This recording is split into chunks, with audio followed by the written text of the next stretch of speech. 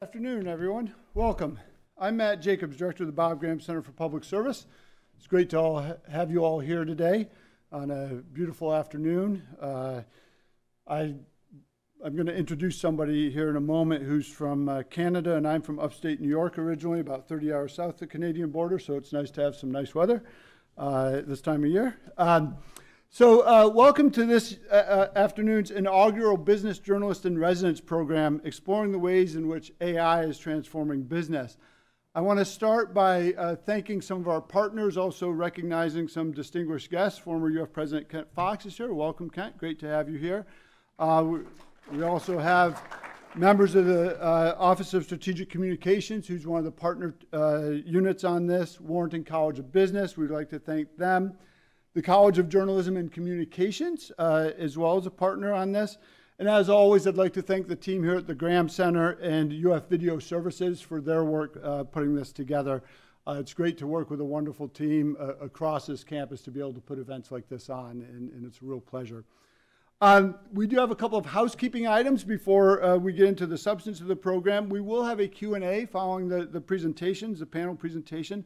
So please have your questions ready. For those of you uh, joining remotely, welcome. We're delighted to have you here, whether you're here physically inside Pugh Hall or remotely inside Pugh Hall. Uh, those of you who are remote, you will be able to ask your questions through the comment bubble in the lower right of your screen. We will be able to ask those questions uh, here in the, in the, the Ocora to, to make sure those get answered and addressed. Let me turn now to the substance of today's event how AI is transforming business. We here at the Graham Center are always encouraging people to think about civic engagement, public leadership, public policy, and public service very broadly. In this context, the evolution and ever deepening impact of artificial intelligence in our lives, in both positive and negative ways, is a critical issue impacting how we engage, lead, and serve, regardless of whether that is in the private, nonprofit, or public sectors.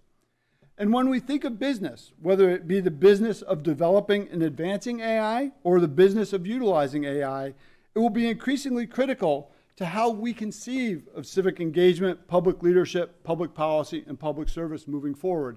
You need look no further than the news uh, articles of, of this past week about AI created videos and a bunch of other things in, in the public space uh, to demonstrate that point. I don't expect that today these issues will be a driving uh, aspect of the conversation. This is focused on AI and how it's changing business. But it does help explain why we here at the Graham Center were so excited to partner on this event because we do think no matter where you are coming from, where you're going, what sector you might be working in, you need to be thinking about engagement, leadership, and service. And if you're in the private sector and you're not thinking about how your business engages, leads, and serves in its community, you might not be in the private sector for very long either. Um, I also hope you'll keep some of those thoughts in the back of your mind as you do listen to today's program, because uh, again, I think it can help us understand why we all need to be thinking about AI no matter what our position in our communities. Let me now introduce the moderator for today's event. Brett Posner Ferdman is a fourth year undergraduate student at the University of Florida, pursuing a dual degree in political science and journalism. A Canadian native, welcome to the South, uh, Brett.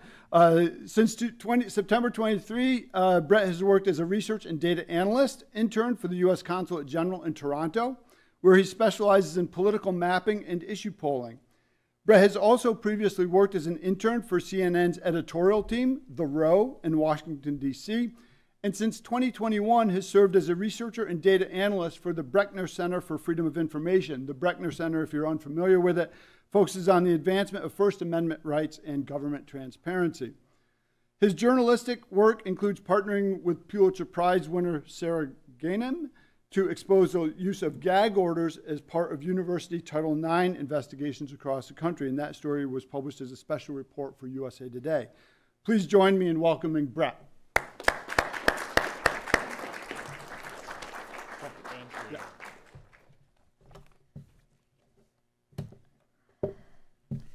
Thank you, everyone. And once again, I want to thank the Bob Graham Center for hosting this incredible event. It is an honor to be here. and I think we covered a lot of the stuff I wanted to. So, with that out of the way, it is my distinct pleasure to introduce our incredible speakers today. So, first, we have Jess Jiang. She is this semester's business and journalist in residence. She earned a degree in economics and environmental studies at Yale University and is the senior supervising editor of, NPR's Planet Money podcast, uh, which focuses on economics. In 2014, she was also part of the team that won an Emmy Award for documenting the mind blowing scope and human impact of globalization through the process of creating their own t shirt. So, everyone, please give her a big welcome.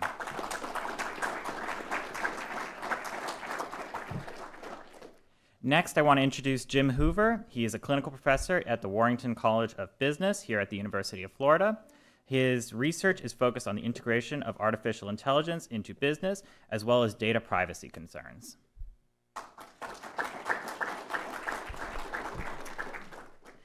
Finally, I want to introduce Sri Kalyanaraman. Uh, he's a professor of journalism at the CJC and is the director of the Media Effects and Technology Lab, which focuses on the intersection of media, technology, and psychology.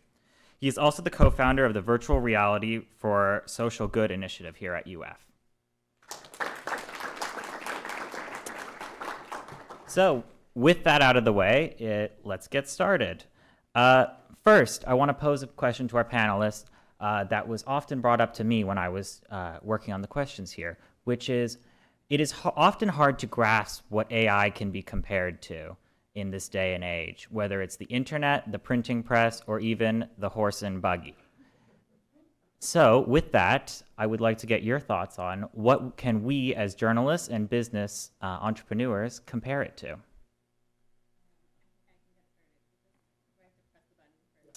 Okay. Um, yeah, I think uh, I am also fascinated by this question. I think we're in a really pivotal moment right now where it's unclear what of those options I think we uh, that um, that AI is going to be. Right? I think we're we're sort of in a world where there are two paths in front of us. It could be one of two options or somewhere in the middle, to be honest. And I think the two options are either um, AI can become this force of good, right? It could be this tool that is used to complement work. It can maybe rebuild the middle class, right? There are um, a few economic studies looking at how um, when AI is used as a tool to help um, writers, it can actually um, help writers who are not that good, who are less skilled writers. It can help them be better writers. And so that's an exciting potential that could happen. There's also the potential that it could be more like the Industrial Revolution, where it really put artisans out of work. And so there are these two worlds that could exist, and maybe they'll coexist. And it's sort of an interesting moment to think about. Um, can we help define where we go, right? Like, are there things that we can do now?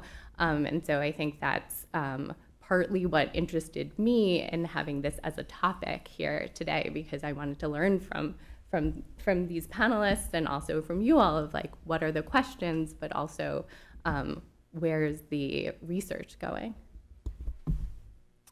So Jim, I want to pose to you a question, which uh, dealing with your research, how can we uh, decide how, what impacts does AI deliver us a general value?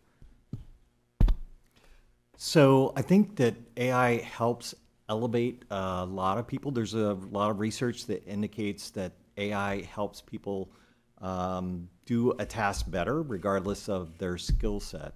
There's, for instance, a study from MIT that indicated that you know call center people that uh, you know are, had just joined a call center, you know when they use generative AI to answer calls, they actually perform much better, much quicker. Um, while that helped the people who were brand new, it didn't really help the people who were um, who had already been in that role. Another example is uh, there's a study that was in Nature in November of last year that that talked about how uh, radiologists who are trying to detect breast cancer do a lot better when they work with an AI. And um, so they had two doctors who are radiologist specialists looking for detecting breast cancer based on the radiology results. And then they had a third reader that was an AI tool. And basically, the AI detected another one out of a thousand people that it reviewed. And those one out of a thousand where 83% had kind of an invasive condition that, you know, if not treated, would have been uh, um, tragic. Um, I think AI is really good at, uh, at detecting patterns. Um, and I think that there's a lot of opportunity for, um, you know, actually having businesses do a lot better that way, including developing like computer code. So I'm working with a company right now, and this company actually is creating a front end to their database that you know automatically uh, the AI tool will write a SQL statement based on somebody typing in kind of a free text question that they want to know from the database, and then it will automatically return the answer even without somebody. uh, Normally, that would have required somebody from IT to write that for them. Jess, I was hoping you could share with us a little bit. Uh, as part of your Planet Mon- Money podcast, you talked. Uh, you had an entire episode that was written by AI. I was hoping you could talk a little bit about that and tell us a little bit why. Uh, in what cases did AI do better than the regular person, or vice versa? Uh, yeah, I'm happy to talk about this. Um, we've done this a bunch at Planet Money where we really try and understand a tool by using it. And so um, when AI came out, we knew we wanted to do something interesting with it, and we were really trying to suss out how to do it. And we landed on um, well, in part because there's this idea that uh, will AI sort of replace workers, and we thought, why not try us?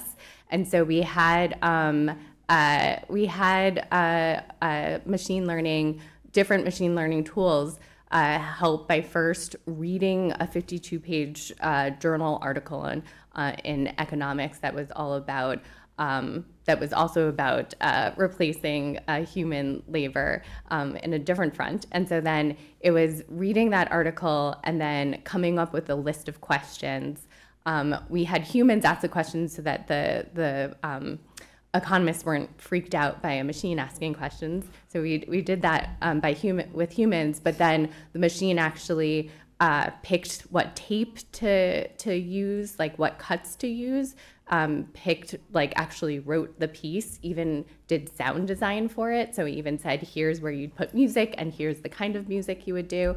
Um, and so it was a real experience in seeing like what oh and then finally we uh, used um, audio like an archive of audio from one of our hosts who had been on the show for for about um, 10 years or so. And so the machine learned that person's voice and actually was trained on it. And then we created a synthetic robert smith voice um, and it was amazing to watch the training. Um, we show it a little bit, or we describe it a little bit in the show. And it first sounds like a jumble of a swarm of bees, like in someone's mouth talking, and you're like, this is terrible to listen to. And then by the end of it, there's still a hint of bee, but you, it's like actually sounds like Robert Smith. And we even played the synthetic Robert Smith to the real Robert Smith, and he was like, he he got a kick out of it. Um, so anyway, we made an entire episode that was essentially um, made from AI, and I think the result was, um, and we played it for people, and I think the one of the funny responses was like, okay.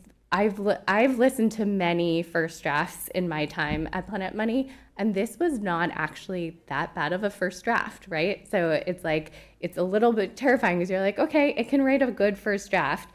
There are still terrible parts to it. Like if you listen to the show, um, there's laughter in it, like synthetic Robert Smith tries to laugh, and it's the creepiest thing you've ever heard. You're just like, no human should make that sound because it's not a human making that sound.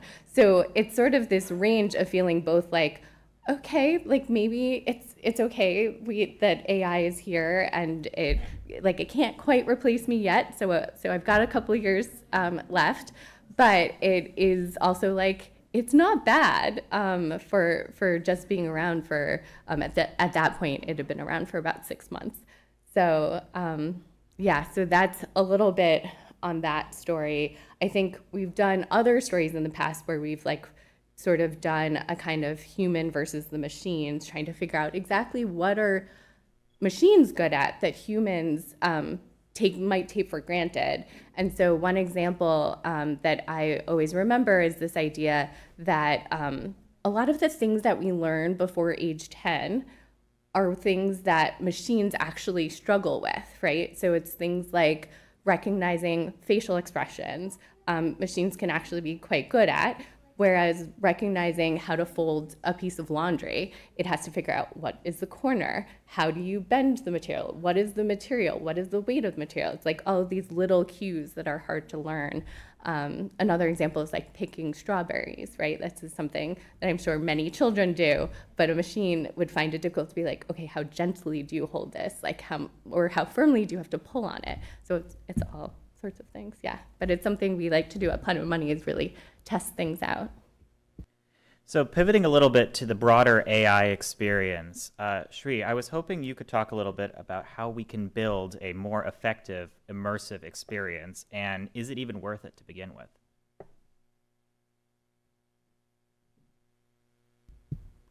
Um, okay, um, I'll start by answering the second part of the question. So um, I'll start by mentioning that um, it's absolutely worthwhile when we think about what value we bring in here. So what is that value, right? So when we are talking about something which can enhance the work that we do, but more importantly, creating something which we cannot normally experience, but which can be wrought about using a virtual experience, then it becomes very worthwhile. So uh, experience is the heart of any good virtual experience, any VR experience. So for the longest time, the belief was that it's a big empathy machine, right? Everybody and their second cousin three times removed would say that VR is this great empathy machine, but it really goes well beyond empathy. So when we talk about what makes it worthwhile, um, now we have some emerging research as well as emerging studies which show that VR goes beyond just creating empathy and generating empathy. It's also very useful when you think about it in terms of making sense right? So this has a lot of implications for big data, for AI experiences. So sense making is a huge component. Uh, the notion of the shared experience. So we know that the metaverse has taken a little bit of a, a hiatus right now, but uh, shared experiences are going to be the heart of the types of great, effective virtual experience that we can build in the future. Finally, a term that we have coined where we talk about it in terms of what could be a worthwhile experience is looking at the notion of what we refer to as an accelerated future right? So, for example, if you ask uh, or if you tell a teenage smoker saying the rate at which you're smoking 30 years down the line, you're going to get lung cancer, it's just not going to cut it. But using a very effective virtual experience, we can create a three minute module where we can accelerate your lifespan by around 30 years and then make it like truly effective to show how your body changes over time. So those would be some of the uh, ways in which it can be worthwhile in terms of building an effective ecosystem around this. Um, I think it starts with recognizing sometimes that there are certain experiences that it's not worth doing in virtual reality. So I think that's very important to know. Um, it's also important for us to realize that um, you know what is the amount of time that someone needs to spend in virtual reality. So I think that's a very key question. Venture capitalists and so many promoters, company promoters, think that we're going to be spending the rest of our lives behind these goggles and these headsets. Uh, that's not really true. So we are still not at that point where we can actually be completely immersed for more than 30 minutes to one, one hour effectively. So I think that's something that we need to recognize. Also importantly, building an effective ecosystem um, ensures or should ensure that we know what some of the capabilities and what the limitations of the technology are, right? So right now we are still navigating fairly fresh waters here. So we are still looking at it in terms of what the size of the objects in virtual reality, what's the point of view, how does it affect our vision. So I think those are some of those questions which need to be answered in order to build a effective system. And just to follow up on that, what are some of the biggest barriers of entry for people as of this point? Is it financial? Is it just ease of access to these devices? Okay, great question. I think it's a combination of both. Um, so um, financially, Yes, um, although we've seen a lot of progress, I think we've seen more progress in this um, ecosystem in the last three years than in the previous 25 to 30 years combined. Um, but there's one vexing problem that this industry has faced, which is it's been very difficult to build and sustain those experiences. So that's that's one huge aspect. Um, the the second component is uh, it's become definitely a lot easier to build some of these things. Um, so now um, I've had uh, 10th graders come and do an internship in my lab, and then at the end of that internship, they've actually come up with fairly decent immersive experiences. So the barrier is sort of reducing. Um, access remains like a huge issue. Um, so um, uh, you know you have certain devices which can only experience certain types of uh, immersive experiences. So there's no standardization. So that becomes like a big issue. And then the fact that so many of these technologies change, and then once those change, uh, because the point of view changes, the input device uh, mechanisms change. That's probably true of most technological platforms, but that's especially true in um, VR experiences. Because what then happens is you have a perfectly good experience and then it just gets abandoned. And that's been the case with so many great programs. So that's something which um, you know is definitely like a challenge that needs to be surmounted. All right, moving into the overall AI in the business sphere, uh, Jim, can you talk a little bit about what is going to be necessary in order for businesses to have a return on their investment here? Yeah, um, right now. Right now, I think that there is a gold rush going on in terms of AI. Um, I've been working in this field for quite some time and, and doing more traditional AI and machine learning. And, you know, that involves a project team with a data scientists and data engineer, a lot of those kind of people. And, you know, before you would start a project that would require you to have that kind of team and that kind of horsepower doing your, solving your business problem, you would have a very clear understanding of what you wanted to get out of that and how you were going to integrate it back in the business. Having said that, in November 2022, when they released ChatGPT broadly to uh, folks, the real issue is everyone wanted to get into the game and everybody was thinking of different ways to use it. Um, a lot of CEOs are making huge investments. Microsoft just said the other day it took them 10 years to get their cloud you know, business up to $10 billion, but in the last, since ChatGPT came out, they've added another $4 billion to their overall cloud business because of the AI tools. What I would say is a lot of CEOs, because of this growth, gold rush, have not actually uh, thought about exactly what they want to get out of it. They've just said, go do something good, and they've spent a lot of money doing that. So I think one of the really important things going forward is for these CEOs to recognize that they have to specify like what is the purpose behind what we're trying to do with generative AI and does it fit this business problem that I'm trying to solve? Uh, I also think another issue with this is that um, you know the the technology is evolving so fast. I mean, I was just looking at a timeline of ChatGPT um, where they originally came out in, in uh, November of 2022, and then in March of 2023, they came out with version 4. Um, I was teaching a class on how to use the uh, interface to ChatGPT, not the front end that you see you know, when you go to the web, but rather the one that the computer system would use to talk to ChatGPT. And you know, what's happened is they have changed that program so fast that the software developers can't keep up with um, actually the changes that are happening on, you know, the improvements that are being made. Uh, just a few weeks ago, the ChatGPT was seen as um, being lazy lately. They didn't exactly reveal why, but the answers coming back weren't that great. What if you had put all of this money into, you know, a solution that used that version of ChatGPT, and then all of a sudden it's not giving you good answers anymore? I just think that there's a lot of promise there, but they have to specify exactly, you know, what is it that we're trying to achieve. Think about things that are likely to be around long enough for you to get your money back from all of your uh, time invested in doing the program. Great. And to follow up with that, I think uh, you touched on a really important thing, which is how can we get there to that uh, return on investment? I'd like to pose that question to both Jess and Shri as well. Um, Jess, do you want to start? Uh, yeah, I think it's um, It's an interesting question in part because as a journalist, I really work um, with the stories that people are sharing and what they actually are doing. And so I, in some ways, I feel more like a mirror reflecting back what I see actual companies do.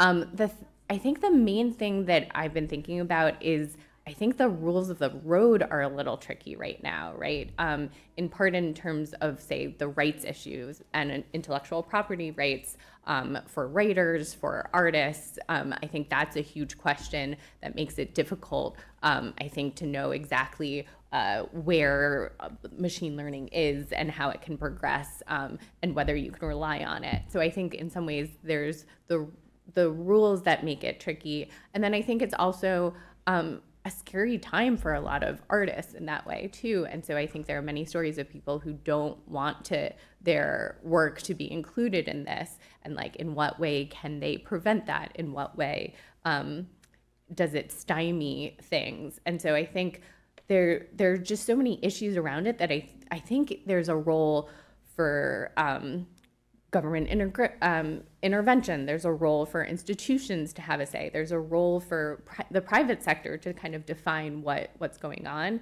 Um, and I think that's sort of what I mean by this is a pivotal moment because it feels like we there's there's work to be done to figure out exactly what path we can follow um, for this. And so, but yes, I'm I'm intrigued by what, what everyone's been saying here in part because I feel like I learn so much by how it's actually being used, and and so stories of how it's being used um, sort of spark ideas in my brain. Sri? Um, uh, this is a question that I don't think we have a right answer to, but I think it's um, something that we can definitely speculate on and building off of some of the things that you said. I'm looking at it more from uh, the immersive ecosystem space. Um, I would like to think that once we see how these can be used in quotidian life, right? So everyday life and how it can really enhance our experiences. So that's where we'll see uh, the greatest uh, bang for the buck, so to say. Um, and we've seen this, the quest for the killer app and immersive that still is eternal, right? Uh, we've seen a lot of this happen at the industrial app level, and we'll talk about that a little bit more um, later on. Uh, but looking at it in terms of going beyond the science, so if you want to try and sort of bifurcate between uh, the killer app being in the realm of science and technology and engineering, but then looking at it more in terms of uh, something which is more mystical, something which is more philosophical, um, that's something that we still haven't got there. And so that's where I think we can really enrich the panoply of human experiences. So that's one. Uh, the other important thing is uh, right now we are still looking at most of these custom-made experiences which are sort of thrust down upon us. So the belief being that you can create something which is truly immersive and that just something which is a great entertainment tool, uh, at least the level of the consumer. So I think once we start having more shared experiences where people are able to create these experiences and so it becomes much more adaptive and then they can share these with other people and then there's this direct sharing of these experiences that's where I think we'll see the greatest ROI as well. And to follow up on that, do you believe that any sort of oversight, both legally or ethically, is going to pose a real risk of stifling the creativity behind it? Um, so that's a double-edged sword, right? Uh, so uh, we've seen that with every new technology. That's that's always the case, right? Uh, there's a great paper a long time ago that I read in grad school about why internet pornography should not be regulated, right? So uh, it came down from the time of uh, the Canterbury Tales and spoke about how every new development in the media world, uh, the, the pornography industry was at the forefront of it, however you define pornography, right? Um, so uh, there was that um, talk. So uh, in terms of regulation, I think there's a case to be made. I think we do need to have some regulation here.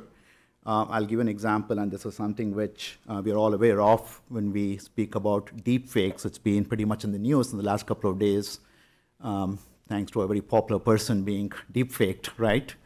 Um, so you can just think about how staggering it can be when we are talking about it in terms of a 2D internet ecosystem, right? And that's scary enough. So when you see something like this, which could be virtualized, then it's, it's very, very difficult right? So um, at some level, there need to be there needs to be some semblance of regulation. Uh, we're also looking at it in terms of very vulnerable communities and populations.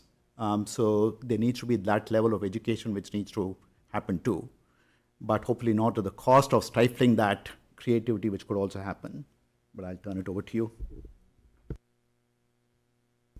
I think uh, one of the big worries about stifling innovation is how they actually trained a lot of the generative AI systems was that they scraped a lot of that information from the web. And, you know, some of that information, you know, maybe we didn't want it to get out there, but companies have been doing that for quite some time.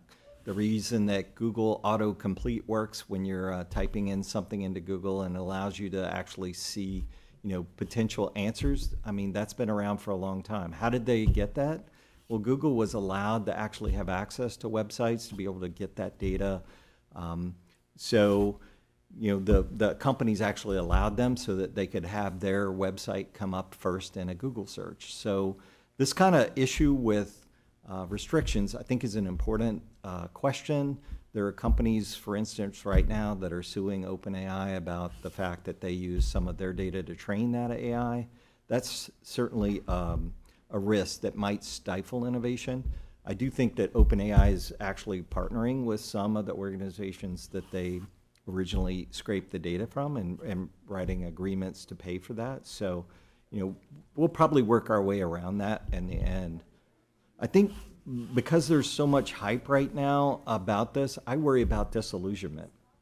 I worry that you know CEOs who invest lots of money in this, uh, it will be you know, and then don't get a return on investment. They'll actually probably not end up, uh, you know, they'll, they'll not make those investments in the future. I worry also about you know the fact that creatives are worried about losing their job to AI. Uh, I personally believe that AI is actually only good if the very best people who are creative are actually the ones that input training data into the system. Um, I worry about hallucinations. Um, you know, if you don't know what hallucinations are in terms of generative AI, that's when the system returns an answer that's clearly wrong and that you can detect that it's wrong. And a lot of the systems are doing that. Uh, they did so more in the past. They're getting better about that now, and particularly they're getting better for some of the systems that are connected to the internet that can answer a question, you know, and give you the reference for it. However, I think hallucinations.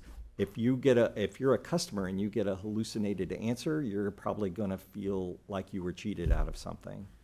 Um, I also think bad data train that's used for training is another potential area that you know, potentially could harm the implementation of AI. Um, so an example is the Apple credit card uh, that came out a few years ago.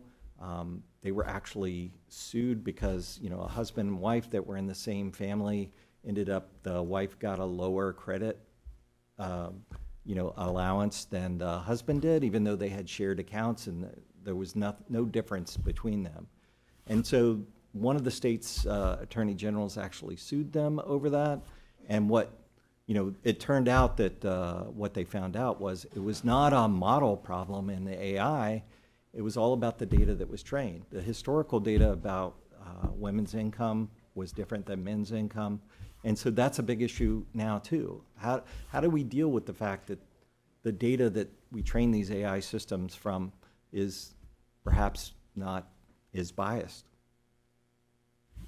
Yeah, I want to jump off of that a little bit because I feel like the story that I've definitely heard that I think many people have probably heard is um, the bias that can be in in these tools, and it's really about the data that yeah. that trained it, right? So a famous example is um, that Amazon had a hiring an AI hiring tool. It didn't. Uh, I don't know if it actually. I don't believe it actually was in practice because they discovered this bias, was which was basically because the data behind it was trained largely on successful um, men candidates and the part uh, the elements that made them successful were um, they talked about how they were leaders. They they were very confident in either the writing or the resume and in these various ways.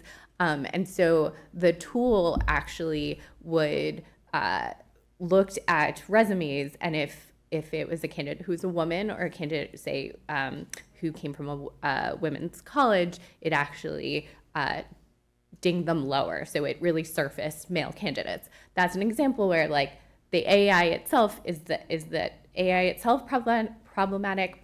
No, but the data behind it was, or maybe it's the bias of the previous um, regime, right? Pre AI, but it's a way in which AI could perpetuate bias. Um, that sort of, I think, is something that we really need to watch out for. And I think that's one of journalism's um, role in this is really looking at those examples and really highlighting, um, sharing stories that that resonate with people. Um, so that's something that I definitely uh, think about. And um, I think another risk that I've been thinking a lot about, especially being on campus um, and hearing from a lot of students and their questions, it's in part like, will um, will AI take my job and mean that I don't have the job that I have been studying for over the last four years or whatever the case might be? Um, and I, that's a really hard one for me to answer, and I've been really struggling with it for a while I've been here. Um, and part because like I really understand that fear. I've been telling people here that when I graduated, I graduated into the um, the housing crisis, right, the uh, global financial crisis, and that was a terrifying time to be graduating, um, especially as an econ major and thinking like the basis of of a lot that you're learning is, is sort of falling apart. Um, and so I think there's there's worry of like overhyping those risks, right? And like I think there are ways in which the economy had to rebuild and had to really think about the foundational things um, that were problematic. Uh, so that that did need to happen, but in the same way, like the economy did still keep going. There are still jobs. Um, there's an episode uh, that uh, Planet Money did um, I think about a year ago now, with the economist David Autor from MIT. And one of the hosts um, of Planet Money was talking with him, and he was basically like, yes, there's a version of, of um, AI that could be really terrible. And, and it can be really terrible for some of the, the reasons Sri was also talking about earlier of just like um, uh, so there could be many reasons could be terrible for human existence, but in terms of jobs and the economy, I think it could have. Um, there's a world in which it is better. We are better off, right? Because humans, they're like, especially in the U.S., we're a country that um, has uh, has decreasing um, uh, birth rates. There's uh, less immigration over time, and so in these two ways, there's there are jobs to be had because there's still work to be done and so in that way there we can sort of take a breath and think about um, that and not overhype the dangers too much so to follow up on that do you think there are any uh, industries that come to mind that would really benefit from this over others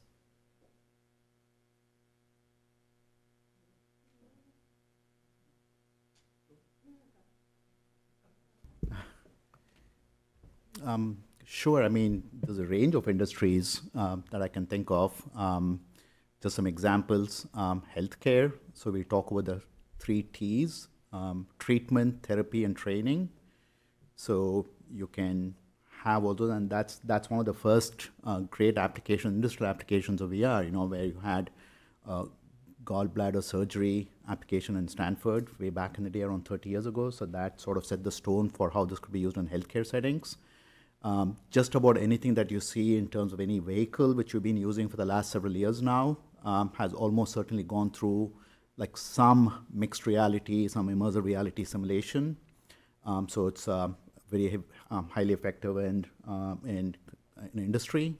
Uh, the construction and power industry, for example, um, one of my collaborators works with a power company in Brazil, and they're just creating all these so-called digital twins and these immersive experiences to look at those.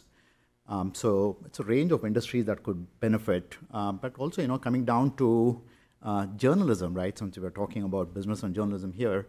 Um, so there's a range of industries which we look at as what we refer to as decision making under duress. So anytime you have like a pressure cooker situation, uh, a lot of times we are not able to teach people exactly how to respond in those situations. You know, how do you take a young reporter who's just graduated and this person is in Syria or uh, Iraq or someplace, and then the bullets are flying around, how do you teach them to report, right? But you can create these very effective experiences where you can do some of those things. So these would be some of the examples, but really the range of industries that can benefit from this is just growing exponentially. So we're just about ready to open up the Q&A, but before we do, I want to pose one final question to all of you, which is where do you see the future of AI going? I think I'll start only because I feel like I don't have a great answer. And I think it's because I don't know where it's going, right? Like, and like I said before, I do think of myself as sort of more of a mirror. Um, and so it's sort of depending on where it goes, like that is what we report and what and the stories we tell.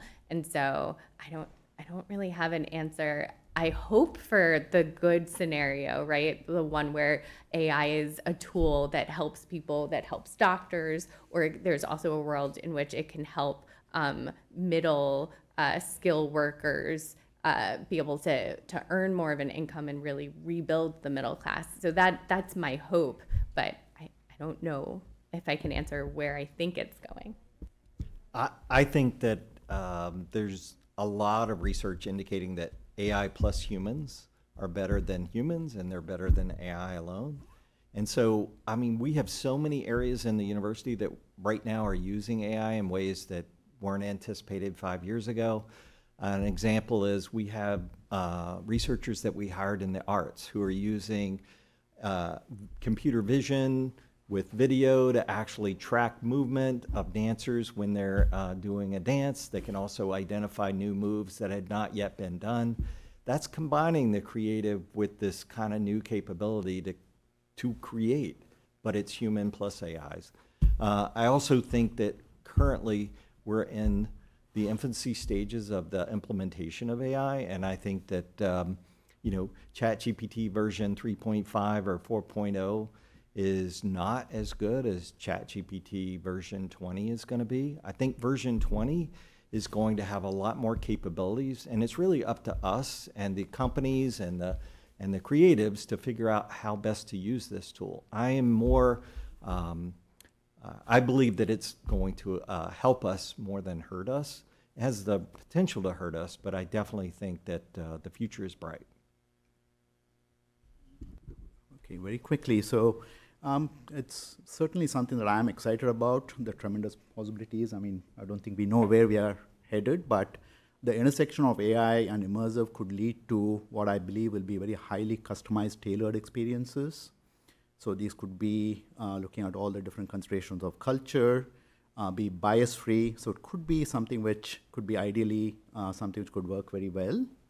Um, so uh, just to give you a very quick example, um, we asked um, um ChatGPT to design uh, like a like a virtual reality code and experience for a student who might be suffering from ADHD and the type of experience it would design uh, to explain Newton's laws, right? and it came up with every single thing, right? Including how do you download the software and here's how you go about it and here's the source code. So we don't even need to be saving these things, right? So we could just ask these questions. So it could be a game changer in some of those ways. So, um, you know, this uh, this potential for highly customized, tailored experiences is something that I'm pretty excited about. Fingers crossed. All right, with that, uh, I believe we are going to be passing around a microphone. Uh, so if anyone has a question, uh, the panelists are open to it. Okay.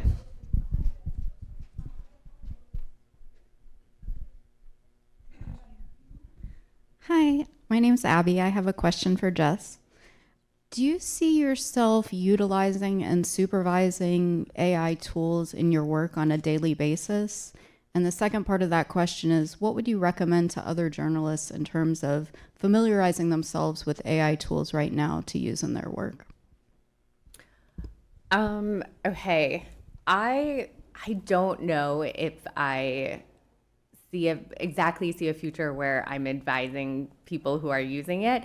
Um, I will say though, my supervisor, as a suggestion for me, if um, I'm struggling uh, telling a story or, or struggling um, advising someone else, was basically uh, suggested that we could use uh, ChatGPT. I'll back up a little. So basically, with Planet Money, there are two key parts that we're always looking for in a story. One of which is the narrative, right? Like a person in a place doing a thing. And then the other side is meaning, right? What is the economic learning um, from that that a listener will leave the episode with? And so we often have the narrative side, the economic learning side can be quite tough where you're like, this is a really fascinating story, but what does it mean? And so we don't always have the answer to that.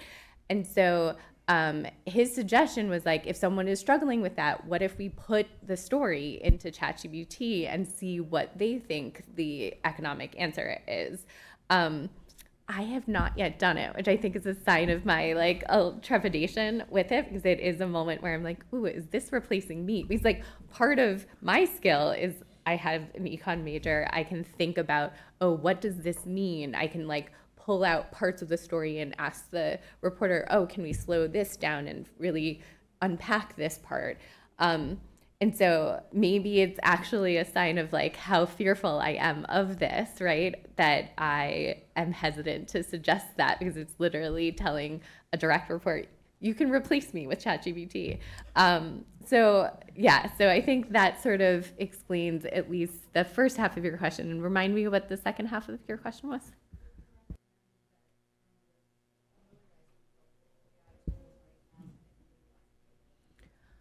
I think it's useful. It's definitely useful, and I would say probably more so for people newer in their careers, right? That it's this is a tool and it's worth learning in part because I think we're using it like it, it's out there, right? Like it's happening whether you want it to happen or not. And so maybe this is a sign that when I go home tonight, then I need to to like really crack down and figure out uh, how I how do I work better with this tool and not be so afraid of it. But yeah. All right, next question.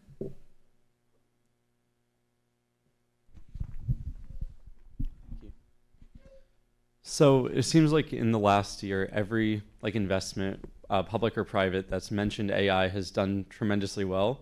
And if you just take like the main leaders, like in the public markets, um, their market caps combined outweigh entire countries, right? So, do you think people have gotten, or do you fear that people have gone a little ahead of themselves in um, how valuable they think the future benefits of AI are going to be? Um, and do you think we're kind of in like a similar situation to a dot com bubble where there might be a big setback in the near future before long term progress can be made?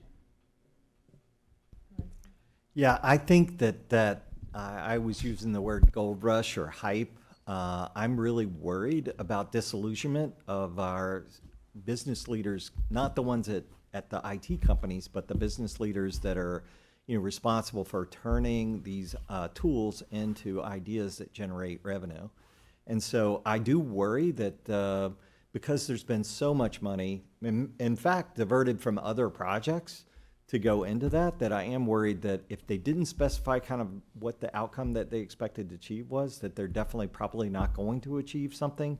And therefore, um, I am worried about a bubble. I do think that in the long run, uh, it will actually improve. We went through a, the internet bubble in the early 2000s when, you know, when the dot com burst.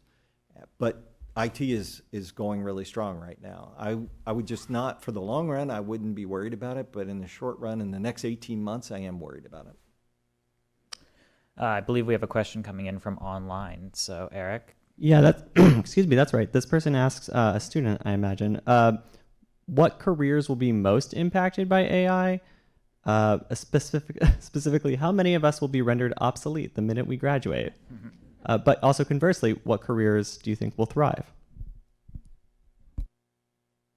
So there are brand new roles that are out there. There was an article in the New York Times yesterday about the hottest or new job, which is this uh, chief AI officer at firms. Uh, I think that um, there are a lot of people. There's a new role for um, a prompt engineer.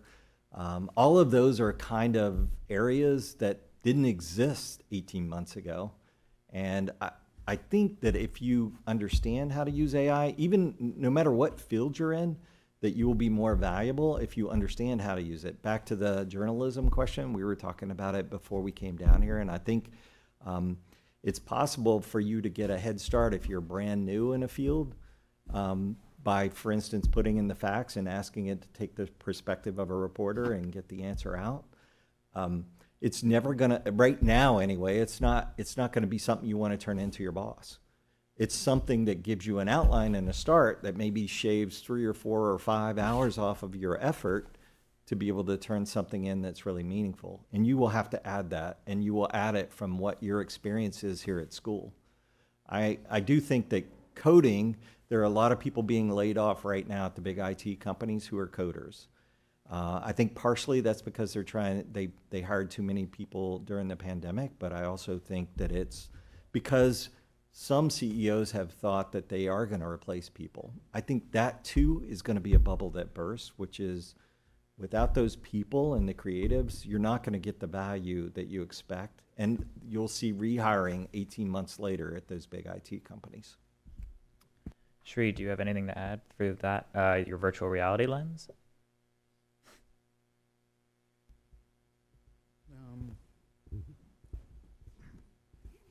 So, um, I, I see the greatest benefit for incorporating immersive experiences, like I said, in just about any sphere, in terms of where it can serve as a complement or a supplement to what we already do. So I think it's um, it's rather futile and rather pointless at this point in time to think about it replacing like an entire industry. But I think what it can really do is to help us become better people, and we can explicate what we mean by better people in many ways. But I think it can really help us become better humans, right? And so that's where I'm pretty bullish on why this can work. It comes down to one simple thing, you know, even when we um, translate this into the world of business and industry and um, occupations. So the human brain is just not designed to empathize with something that it cannot experience. That's what it comes down to, bottom line. So anytime you can create an experience which you normally wouldn't be able to have, right? So how would I feel? Um, you know, you can ask someone, what does it feel like to be homeless, right? And you can be the kindest, nicest person, um, but you can sympathize. You cannot truly empathize. But I can create a very effective experience, and then I can actually make you go through that. So I would like to think that um, this is something which can actually help us.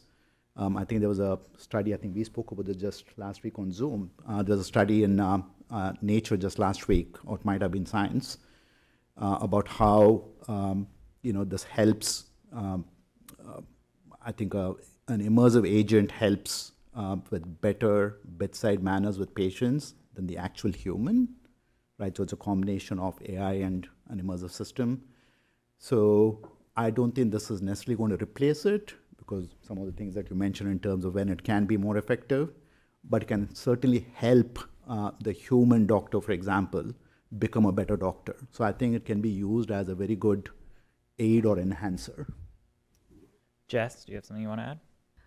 Um, I think the only thing to add really is the the maybe um, a silly quip of like you don't actually know whether it's a bubble or not until it's burst, right? And so I think it's it's too early to tell, which is somewhat of a terrible uh, answer for some people in this room right now. But I do think it's um, it's something that it, it is where we we just don't know yet, and so we'll we'll find out um, over the the next few years.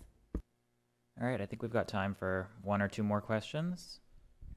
So, how much of the danger of AI generated, say, video and audio, basically the deep, deep fakes that we told are, are not that the, uh, the generated stuff might be mistaken for real, but more that it casts doubt that the real stuff isn't fake. So, in other words, you know, AI Robert Smith, you know, can oh, you can tell that you know he does a fake podcast. You can tell oh, that's fake. But now, how much does that cast doubt on all the stuff that the real Robert Smith says? Assuming the AI Robert Smith doesn't laugh and give itself away, but um, extending all the way to video evidence and stories and in jury trials and in everything, where you know you have somebody just claim, oh, you know, anything that's presented against them is, oh, I'm sorry, that was just AI generated, right? How do you prove it wasn't? I think that's a really good question. Like, um, there is definitely this woman I follow on Instagram, and she basically uh, presents six photos, and uh, five of them are AI, and one of them is real. And it's really disturbing when I can't figure out which one is is the real one. And I think it does. I like then uh, in before she reveals which one it is, I have a story in my head of how each one is AI. Um, and so I think you're entirely right. And I think it's a sign in the episode we had to explain that at the end of the series, we um, buried synthetic Robert out in the back, right? So we made it clear that synthetic Robert was only pulled out for this series, and I think it's for that reason, right? Of of wanting to uh, hopefully make sure people uh, remember that we, we we don't use AI like this on the normal basis. This is really just an experiment in this case. So I think you, you pose very good uh, question that I, I don't have an answer to, but I, I feel like Jim might. So I think this is an area of research that I think uh, companies are trying to struggle to catch up with this being a problem, right?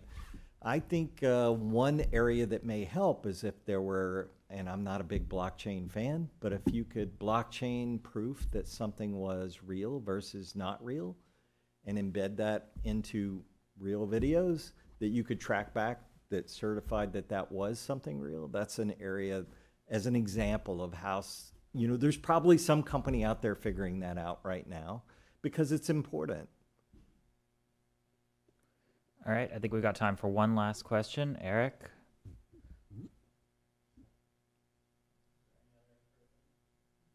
We got one up here.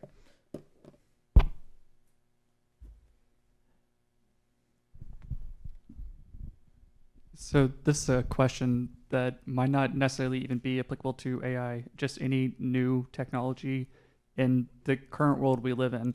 Um, I think most technologies like um, automation of telephones is good for the global economy, although it might be bad for a few specific people. But I think most innovations are overall good for the economy. And I think that's probably the same way with AI.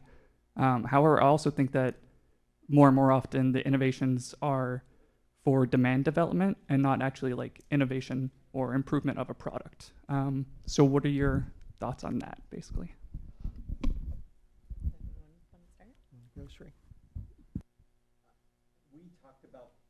we talked about before the idea that um, you know there were risks with a lot of other technologies implementing, right? I mean, the risk of the printing press. I mean, there were people that were really worried that you know the ability for all of us to be able to have all that knowledge is dangerous. Um, it was dangerous. I mean, the Unabomber wrote his uh, manifesto on a document, right? But I think that we have, as people, have figured out how to accept that there is some danger with any new technology and figured out kind of what the bounds are on that? Yeah, the example that I'm thinking of, um, in part because we've done a few episodes on it, is like with textiles, right? The Luddites really were hurt in the process, and they recognized the problem and they fought back at the time um, in in a very um, bloody way, but they did fight back. Um, and so I think it's just I think you're totally right to say that that there's a world in which some people are hurt, um, but like I don't buy uh, homemade, home like loomed uh, goods because it would be far too expensive. Um, and so I think it has made society in some ways better off that you could buy machine made clothing, and and so um, and I think a lot of the growth of society relied on it. Um, it's not to say the the Luddites weren't hurt in the process, but it, it is um, it is somewhat figuring out how do you help the Luddites so that they're not um, kind of in this world of not having a job, not having a future, and not seeing how how to change that. And so I think that's partly what I find interesting is is how do you move on from that moment because I think AI is going to be disruptive, right? It can't it can't um, exist without being disruptive, but it's it's how do you mitigate that disruption that I think um, there are economists who are thinking about it. I think a lot of businesses that are thinking about it too. All right. Well, I want to thank the entire panel once again and everybody for participating in the Q&A. I'm going to pass it back, back over to Matt to close us off. Thanks, Brett, and, and thank you everyone for the wonderful uh, discussion here. I want to uh, close with a, a couple of um, comments just to try to tie together some things to, to sort of give you a sense of the range and breadth of the opportunity and challenges that AI represents. And th- these will pull on some of the themes that were discussed. One is um, the training database, right? How bias isn't necessarily always intentional. So if we look at facial recognition software, where there's, there's a lot of work that's been done on facial recognition software, we know that the greatest inaccuracy are lower socioeconomic women, urban women of color. That's where facial recognition software is least accurate. That's not built into the system by someone saying, I want this population or this demographic to be the most harmed by this. Think about what the training database is for that. The training databases, the most commonly used for facial recognition software, are driver's license photos and passport photos. Who are the least likely people to have driver's license photos and passport photos? Lower socioeconomic urban women of color, right? And so that's a bias that's built into a training data set that has nothing to do with somebody saying, I want to create a highly biased, highly inaccurate system. And error rates, by the way, they're improving some, but in facial recognition for that demographic, they approach 40% error rates as opposed to less than 10% for white males, right? So that just gives you a basic line there. On the other end, though, let's think about something that, where there's a real positive. Go back to healthcare, which Sri mentioned, for example, vaccine development before you get to clinical trials, one of the biggest challenges in vaccine development is figuring out what are drug to drug interactions, right? And so there are thousands of potential drug to drug interactions. If you can AI that down to identifying the hundred or less most significant that actually have to be tested, and AI can do that in a matter of days when that used to take perhaps as many as seven, eight, nine, or 10 years to go through those kinds of things and focus then the researchers' efforts on something very narrow testing 50, 60, 70 possibilities as opposed to testing thousands of possibilities, right? But then we go to another end of the spectrum.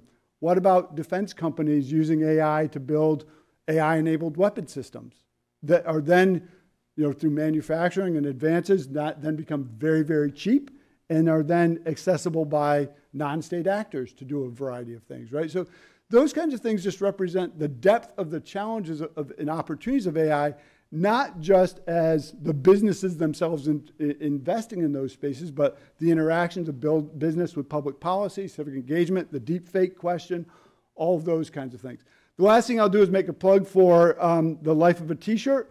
Great, great five-part series. I use it in my class all the time. I, I had forgotten that, that not that Planet Money did it, but that you individually were involved in that, Jess. It's a fantastic. Uh, again, each episode is about three to four minutes long uh, of that. It's absolutely abs- uh, uh, excellent. A wonderful, wonderful five part series if you want to understand the life of a t shirt and globalization. Um, lastly, there is a reception upstairs in the O'Neill Reading Room, which is back behind you on the second floor. There's a stairwell back here or elevator back in this corner if you wish to go up and mingle with our, our panelists and, and with our moderator. Thank you very much for joining us, and we hope you've enjoyed the program.